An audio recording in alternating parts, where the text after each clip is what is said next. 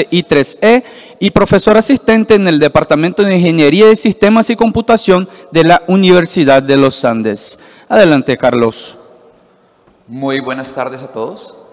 Eh, como muy bien me han presentado, me llamo Carlos Andrés Lozano, soy profesor en la Universidad de los Andes y quiero en primer lugar agradecer al ACNIC por invitarnos a esta iniciativa de investigaciones aplicadas. Eh, como lo decían esta mañana, somos cinco universidades que estamos empezando en este proceso. Y lo que vengo a contarles hoy es algo de lo que hemos venido trabajando en estos últimos años. Eh, básicamente nos hemos enfocado en el Internet de las Cosas, como ustedes bien lo pueden ver en, en la presentación, y es básicamente porque el Internet de las Cosas es una realidad hoy en Latinoamérica. Hoy nosotros encontramos el Internet de las Cosas en nuestros dispositivos personales. Muchos de aquí muy seguramente tendrán un reloj inteligente o una banda que nos permite tener señales biomédicas y de control o que lo usamos para nuestros deportes o para hacer un monitoreo en pacientes. Pero también lo tenemos en nuestros hogares. Lo tenemos en nuestras casas con nuestros televisores inteligentes, con el Alexa conectado, pero también lo encontramos fácilmente hoy en las industrias en Latinoamérica. Internet de las cosas no es algo que viene en un futuro, sino que ya está en nuestros países y que de acuerdo a esto necesitamos empezar a trabajar con él. Muy seguramente nos hemos podido encontrar con dos tipos de implementaciones distintas en Internet de las cosas. La primera está enfocada un poco más al Internet de consumo, es decir, ese Internet que nosotros como personas tenemos en nuestros hogares o que tenemos para nuestro uso personal. Allí vamos a encontrar muchas aplicaciones podemos utilizar, eh, no sé, dispositivos de seguimiento, eh, los, los, tags ahora con, con iPod ah, o cosas tan simples como nuestro reloj. Pero también tenemos los dispositivos del hogar, nuestros eh, implementos de hogar conectados, ya no solo es el televisor, tenemos la nevera, tenemos toda la parte de electrodomésticos, appliance, temperatura controlada, música instrumental y un montón de cosas que hacen nuestra casa segura nuestra casa inteligente. Pero por otro lado tenemos el Internet industrial. Y en este tenemos un crecimiento importante en nuestra región, debido a múltiples razones. Entre ellas, primero, pues los costos para las implementaciones, pero segundo, por unas políticas gubernamentales que en Latinoamérica se han venido desarrollando. Para el caso de Colombia, nosotros tenemos dentro de nuestro Plan Nacional de Desarrollo una política de transformación digital. Y en esta, el Internet de las cosas industrial o la industria 4.0 es uno de los componentes importantes del desarrollo del país. Cuando lo miramos a nivel mundial, vemos que este mercado realmente está creciendo a un ritmo acelerado. Hoy podemos ver que eh, el mercado está creciendo exponencialmente y se espera que para 2028 pueda llegar a un trillón de dólares. Esto es mucho dinero invertido en un área que es supremamente importante para el desarrollo económico de nuestros países. Siendo este uno de los esquemas que más está creciendo, que más estamos apoyando desde la parte gubernamental, pues empiezan a crearse unas simples divisiones. Entonces, cuando nos enfocamos en lo que nosotros llamamos el Internet de consumo, vamos a encontrar cosas como que eh, su estado actual son nuevos dispositivos, estamos generando nuevos estándares, allí estamos trabajando con muchos nuevos protocolos, aparte de Bluetooth, que es uno de los más importantes, tenemos protocolos como Zigbee o tenemos conectividad a través de otros protocolos de comunicaciones.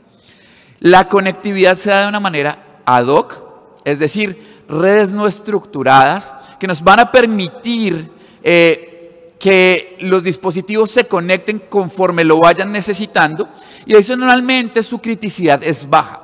¿Qué quiere decir esto? Que la pérdida de un dato o que un dato llegue errado o que un dato llegue tarde no genera un problema significativo en nuestro servicio. Y por último, pues el volumen de datos, aunque es un volumen alto como todos los volúmenes que tenemos en Internet de las Cosas, pues no es tan alto como en el Internet de las Cosas industrial. Cuando empezamos a revisar el Internet de las cosas industriales, nos vamos a dar cuenta que está orientado totalmente a la comunicación con las máquinas, y a las máquinas con los sistemas, con los servicios y con las personas. Aquí ya existen muchos estándares existentes. Tenemos estándares de comunicaciones industriales que ya están implementados en muchas de las industrias de nuestros países. Y adicionalmente, vamos a entender que la conectividad de estos dispositivos está ya estructurada. Vemos que la mayoría de estos nodos son nodos fijos, nodos que no se van a estar moviendo. Por ejemplo, tenemos en una empresa de automatización podríamos tener tornos de control numérico, algunos dispositivos adicionales eh, conectados. Así que tenemos nodos fijos y su administración de la red es centralizada. Esto nos va a generar una necesidad distinta al momento de implementar el Internet de las Cosas allí. Y adicionalmente, algo que sí es supremamente importante es que estos dispositivos son de misión crítica. ¿Por qué? Porque son dispositivos que están orientados al desarrollo del core del negocio de la organización. Es decir, estamos interviniendo dispositivos que necesitan controlarse para generar los productos o servicios en nuestra organización. Por tanto, su criticidad es bastante alta. Aquí, problemas de tiempo, confiabilidad, seguridad o privacidad son supremamente importantes. Y pues el volumen de datos que vamos a tener aquí es muy alto. Por eso nos vamos a concentrar, perdón allí, creo que se descuadró un poco, en esta parte de la criticidad. Y aquí vamos a centrarnos en dos problemas que son supremamente importantes. Adicionalmente, en muchas de las empresas que hemos visitado en nuestro país, en Colombia, la unión entre estos dispositivos que nosotros denominamos eh, tecnología de operación, OT, y su interconexión a las tecnologías de información se ha realizado de una forma o con una arquitectura tradicional. Es decir, vamos desplegando un sinnúmero de dispositivos de sensado o actuación y los vamos conectando directamente a un sistema de monitoreo o control que está desplegado en su gran mayoría en la nube. Teniendo aquí dos inconvenientes importantes. Primero, la latencia que puede generar este tipo de sistemas. Si nosotros tomamos decisiones a nivel de nube y allí hacemos el procesamiento de datos, vamos a tener que esperar que el dispositivo tome la información o los datos, los envíe hasta la nube, allí sean procesados y se dé vuelta la actuación al dispositivo. Y por otro lado, pues obviamente, disculpen aquí, nos quedó al revés las flechas, tenemos que los dispositivos a nivel de capa física son dispositivos de baja capacidad de cómputo. Es decir, no podemos saturarlos con toma de decisiones a nivel de la capa de dispositivos o esto generaría un alto costo en los dispositivos que tenemos que implementar. La mayoría de dispositivos aquí estamos hablando de tarjetas de muy bajo costo tipo Node S32 que nos permiten conectar sensórica y mandar estos dispositivos ya sea por Wi-Fi o cualquier otro tipo de interconexión de red a nuestro sistema en la nube. Que pues como ustedes bien lo saben tiene una alta capacidad para... Eh, hacer cómputos y poder tener toda esta parte de la lógica del negocio, el almacenamiento de los datos y la centralización de los mismos. Dentro de esto, entonces empezamos a mirar que el tiempo real en los sistemas IoT toma una preponderancia. Y es que básicamente el Internet de las Cosas industrial lo que busca es conectar estos dispositivos, estas máquinas, en tiempo real con otras máquinas con sistemas de monitoreo y actuación y con personas para poder tomar decisiones en el menor tiempo posible. Y esto dependiendo el sistema que yo quiera tener, pues va a generar unas presiones importantes en la comunicación o en los sistemas de información y comunicación de la industria. Por un lado, en muchos de estos dispositivos vamos a tener dos tipos de dilemas importantes. El primero tiene que ver con la latencia para la toma de la decisión. Básicamente es esencial que la información se transmita de la manera más rápida al tomador de decisión y se pueda devolver en un menor tiempo posible. Y en sistemas con centralización en la nube, pues vamos a tener problemas allí. Adicionalmente que muy seguramente nuestros sistemas de OT conectados van a empezar a generar un tráfico adicional en nuestros sistemas de TI y estos van a competir por recursos en la red. Por otro lado, pues obviamente la integridad y la fiabilidad de los datos son primordiales en el sistema. Y allí es importante garantizar que los datos sean los, los reales, porque una modificación en los datos puede implicar un déficit en la calidad del producto o el servicio. Entonces, lo primero que nosotros proponemos fue a las empresas en el país empezar a trabajar con una arquitectura de IoT distribuida que nos permite insertar, dependiendo la el tamaño de la industria, una o dos capas adicionales al sistema tradicional. En esto ustedes ya habrán eh, leído un montón. Lo que se llama la computación en el borde y la computación de niebla. Y lo que nos va a permitir es tener dos puntos intermedios para toma de decisiones. En la computación en el borde vamos a tener un procesamiento más cerca del campo, más cerca de la capa física, y vamos a tener un almacenamiento un poco más grande que en el dispositivo físico, que nos va a permitir tomar decisiones. Vamos a tener una baja latencia y los dispositivos de red se van a poder conectar mucho más rápido allí. En la capa de niebla, que es una capa superior, pues vamos a tener una red local mucho mejor ubicada, con un análisis de, de, los datos que recopilamos de múltiples sensores en múltiples puntos de la industria y un almacenamiento local. Y por último tendríamos la capa de cloud, donde estaría nuevamente ubicada toda la parte del procesamiento de la lógica del negocio. Sin embargo, estas arquitecturas pues deben ser adaptadas a la necesidad real de cada una de las instituciones o cada una de las organizaciones. Pero lo que estamos buscando aquí es mejorar la latencia en la respuesta y obviamente mejorar las capacidades para tomar decisión con la computación. Entonces encontramos dos alternativas a nuestros problemas que teníamos. La primera es la latencia. Si bien en los sistemas de, eh, de industriales ya tenemos algunas eh, técnicas como por ejemplo mejor esfuerzo o constant bit rate para poder separar algunas cosas. Queríamos explorar algo que se llama TSN, Time Sensitive Networking, que es un estándar generado desde el IEEE 802, eh, el 802.1, la Fuerza de Trabajo 802.1, y básicamente lo que el Time Sensitive Networking busca es tratar a través de una serie de estándares de determinar unos parámetros de servicio de una forma determinística. ¿Qué quiere decir esto? Que lo que vamos a hacer es sobre la infraestructura existente, vamos a mantener unos parámetros como una latencia limitada, una pérdida de paquetes limitada o una baja variación en el retardo o en el jitter. Entonces, Time Sensitive Network lo proponimos como una de las primeras implementaciones en este tipo de entornos y básicamente lo que buscamos aquí es garantizar la baja latencia que tendríamos en la transmisión en este tipo de redes. ¿Por qué TSN? Porque TSN nos permite jugar con tres elementos clave.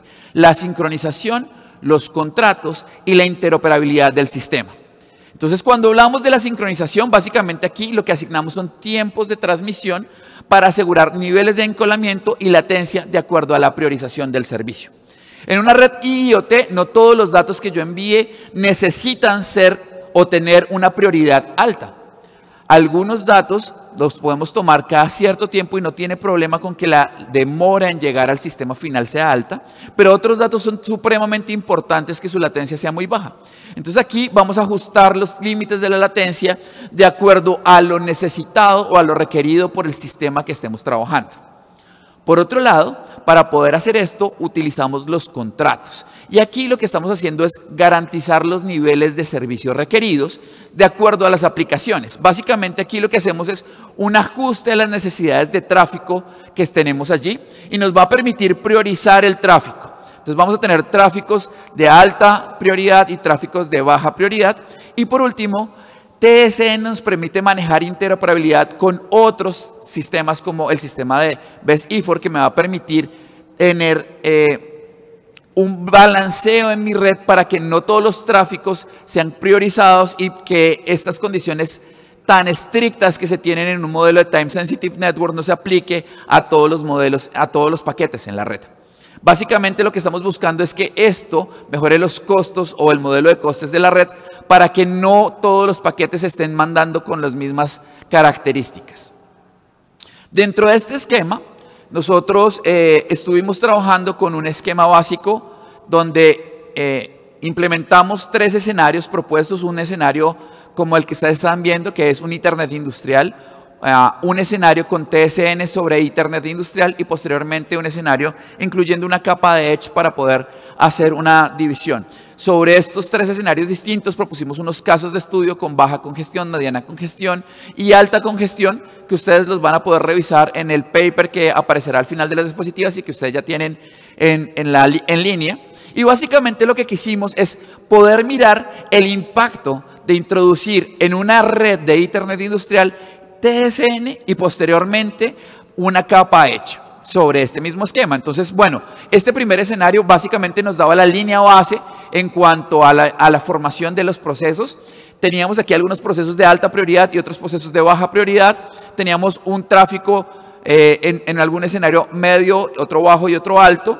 Y básicamente lo que hicimos fue conectar los dispositivos IoT a sus servicios en el data center para poderlos monitorear o controlar y posteriormente tener una línea base sobre la cual empezar a comparar. Posteriormente, lo que hicimos fue introducir este framework de TSN, eh, que definió el IEEE en su fuerza de trabajo 802.1, y básicamente sobre la misma topología que teníamos con Internet Industrial, empezar a hacer pruebas. Ah, aquí lo que la base era no hacer cambios en la distribución del despliegue para poder ver efectivamente cuál era el impacto que tenía TCN sobre la red.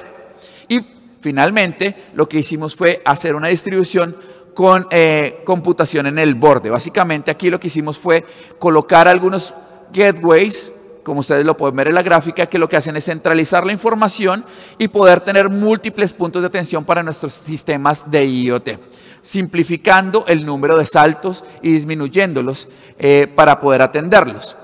Con base en estos tres esquemas, pues corrimos múltiples simulaciones y encontramos tres cosas importantes. La primera, que el uso de TCN y Edge efectivamente nos permiten diseñar topologías que son muy eficientes para asegurar algún tipo de tráfico dentro de nuestra red y nos va a dar fiabilidad en los servicios de Internet de las cosas industriales como primera medida. La segunda cosa es que TCN como, como, como tal, trabajando la solita, nos permite asegurar esos parámetros de red importantes en los servicios críticos en entornos de IoT. Y aquí es importante tener en cuenta que muchos de estos servicios pues son cosas que hoy en día empezamos a trabajar como los servicios en, las redes de distribución eléctrica y todo lo que tiene que ver con smart grids en este esquema. Y eh, en este primer esquema del trabajo con TCN nos dimos cuenta adicionalmente que puede tener un impacto negativo sobre los servicios de baja prioridad en la topología, ya que la mayoría de los recursos se los van a llevar los servicios que tengan una alta prioridad. Y asimismo, al, al, interactuar con Edge, ajustamos la topología de despliegue, la hicimos mucho más liviana, redujimos los cuellos de botella y nos permitió reducir la latencia al disminuir el número de saltos en la ruta origen-destino. Entonces, en este primer acercamiento encontramos que TCN es una muy buena alternativa dentro del despliegue de los sistemas de IoT para asegurar la latencia. Posteriormente nos enfocamos en otro de los problemas importantes, digamos que estas son las dos líneas importantes que tenemos acá, y es la detección de ataques en las redes IoT. Claramente es uno de los problemas, hoy en el panel lo hablábamos, eh, la ciberseguridad es uno de los temas importantes y más cuando uno ve gráficas como esta. Esta es la evolución de los ataques hasta el 2022 a sistemas IoT. Y si ustedes ven, la gráfica es totalmente creciente y es exponencialmente creciente. Estamos hablando de eh, millones de ataques a sistemas IoT, más o menos para 2022, a finales de 2022, cuarto cuarto, se está hablando de 112.29 millones de ataques a dispositivos. Arrancando en 2018 con aproximadamente 32 millones. Entonces, básicamente lo que vemos es que hay un problema serio y que obviamente la ciberseguridad en el Internet de las cosas industriales empieza a tomar una perspectiva importante en el desarrollo de los sistemas de Internet de las cosas en las empresas. Básicamente aquí, obviamente, pues como para redondear el tema, decimos que aquí lo que queremos es proteger los dispositivos, los sistemas y los datos de esos ataques cibernéticos, ¿cierto? Básicamente, el problema aquí es la complejidad que puede ser el poder incluir sistemas de protección a dispositivos con una baja capacidad de procesamiento y con una baja batería, por ejemplo, cuando hablamos de sistemas que no son alimentados. ¿Por qué? Porque tenemos dispositivos que van a tener problemas porque no, necesitamos que duren un largo tiempo, su tiempo de vida debería ser más largo, y al introducir nuevos sistemas de seguridad, lo que vamos a hacer son nuevas aplicaciones que están consumiendo batería y que están consumiendo recursos de cómputo y no se están dedicando a lo que es el core del negocio. Entonces aquí este problemita nos empieza a mirar que los dispositivos físicos como tal, la red y el software pueden generar vulnerabilidades y aumentar nuestra superficie de ataque en los sistemas industriales.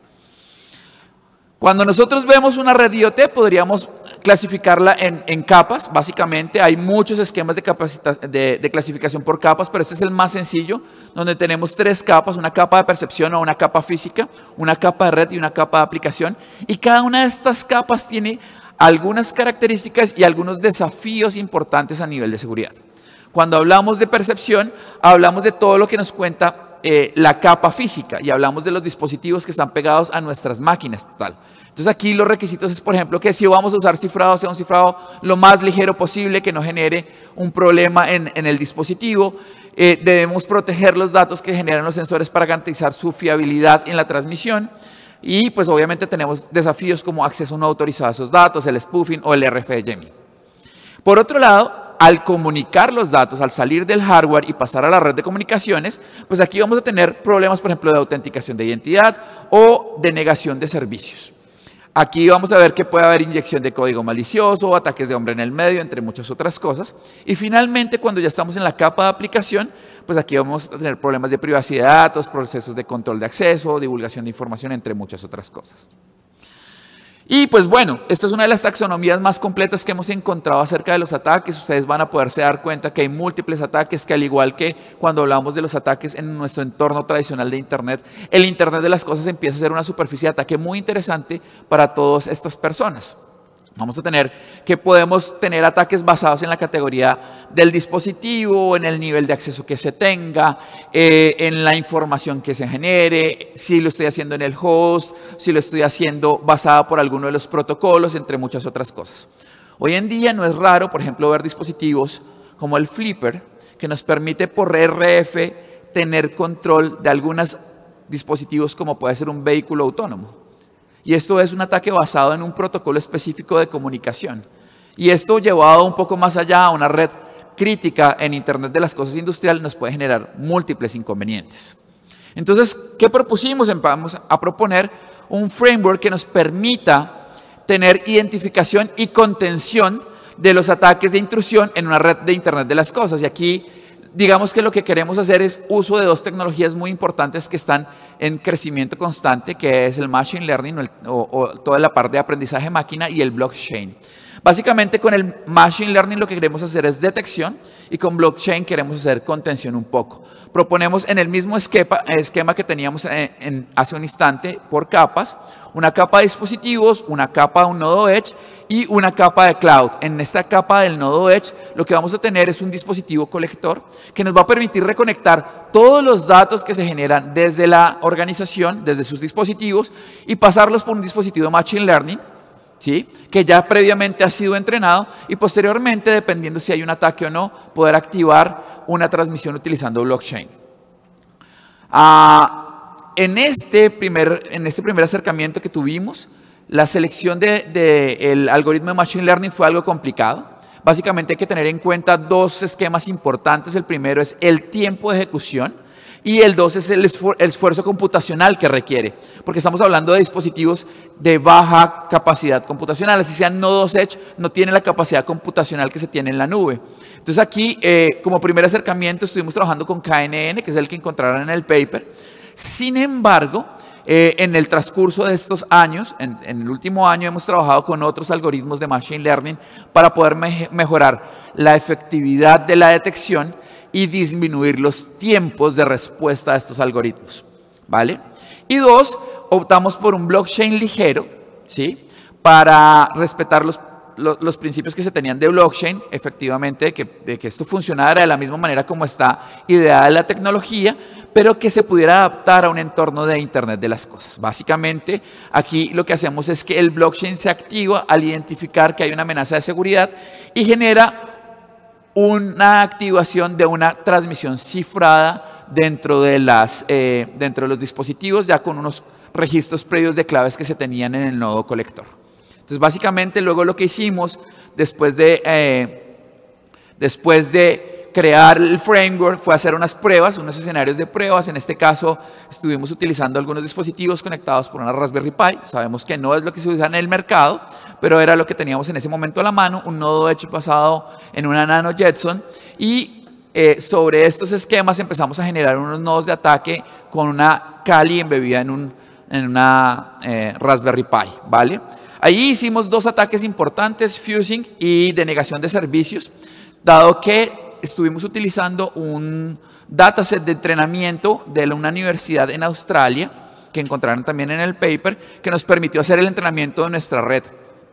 Con esto, pues encontramos varios resultados. Realmente es importante empezar a entender que Machine Learning efectivamente eh, es una estrategia importante para identificar los posibles ataques. Sin embargo, en este momento seguimos trabajando con Machine Learning supervisado.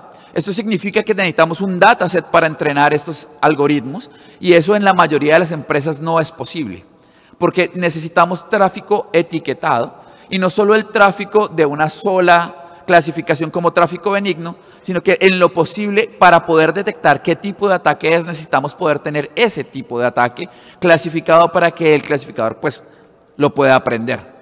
Y por segunda ah, cosa, pues el uso de blockchain fue bastante importante. Allí logramos, por ejemplo, separar el tráfico maligno de identificar qué nodo era el que lo estaba generando, porque al tener ya ah, prediseñado un sistema que nos permitía hacer el cifrado ah, mediante la activación desde el colector de, la técnica, pues podíamos identificar claramente cuál era el nodo que nos estaba generando la, información o el ataque a nuestra red. Eh, como lo decía, también es importante que uno pueda tener claro, en este caso usamos KNN porque es un clasificador de múltiples clases y nos permitía identificar diversos ataques pero en este momento estamos trabajando en un esquema un poco distinto donde podamos tener un clasificador para que me diga si es un ataque y luego lo pase a otro esquema para que me pueda identificar qué tipo de ataque es, esto con la finalidad de reducir los tiempos de respuesta. ¿sí? Porque al tener que mirar entre múltiples clases, vamos a tener que identificar entre múltiples o diferentes ataques y allí estamos consumiendo un tiempo adicional que no tenemos. Y pues bueno, este modelo que, les presentamos pues nos respondió muy bien, fue escalable en el tiempo, pudimos colocar muchos más dispositivos eh, y pues cuando empezamos el aumento de carga nos funcionó bastante bien. Como parte final de este trabajo, en este momento en la universidad estamos eh, proponiendo un colaboratorio. En este caso estamos montando una Smart Grid de generación de energía fotovoltaica, donde lo que queremos es tener dos cosas importantes. Primero, un espacio para que las otras ingenierías puedan hacer todo el estudio eh, de algoritmos de toma de decisión y todo este, este esquema de los paneles fotovoltaicos. Pero segundo, que en ese mismo esquema nosotros podamos hacer pruebas de comunicación y de ataque sobre infraestructura real. Y esto es porque las empresas, pues claramente, no van a permitirnos que podamos entrar a una organización y organizar todo un ethical hacking sobre sus sistemas. Entonces lo que estamos haciendo es empezar a llevar estos sistemas a través de un colaboratorio para poderlo generalizar y poder tener mejores resultados en este momento. Estos son los dos papers que les comentaba, ambos ya están publicados, ustedes tienen acceso ya a la presentación. Y pues bueno, eso era lo que queríamos contarles en este tiempito que LACNIC nos ha preparado para poder estar aquí con ustedes. Muchísimas gracias, este es mi correo de contacto y pues quedamos abiertos a cualquier inquietud que tengan. Muchísimas gracias, Carlos, por, su excelente presentación. Tenemos un minuto para preguntas. ¿Tenemos preguntas remotas? ¿No tenemos preguntas remotas? Entonces creo que Carlos estará ahí también hasta el fin de la semana. Por si hay alguna duda, por favor acérquense a él. Un fuerte aplauso. Gracias, Carlos. Muchísimas gracias. A continuación, invitamos a Gustavo Mercado que nos va a hablar sobre IoT o IoT